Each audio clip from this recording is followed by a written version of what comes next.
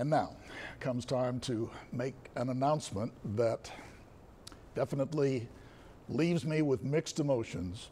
It is something that many of you may have been anticipating, and I dare say there are some out there who will say it's long overdue. But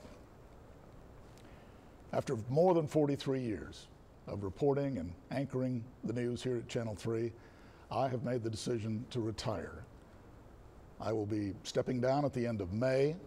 And while retiring is what we all call it, I've never been comfortable just relaxing. And so I'll be putting all the remaining energy I have into a small video production company that I set up some years ago. Now, let me just say, this has been an amazing journey for me here at KIII.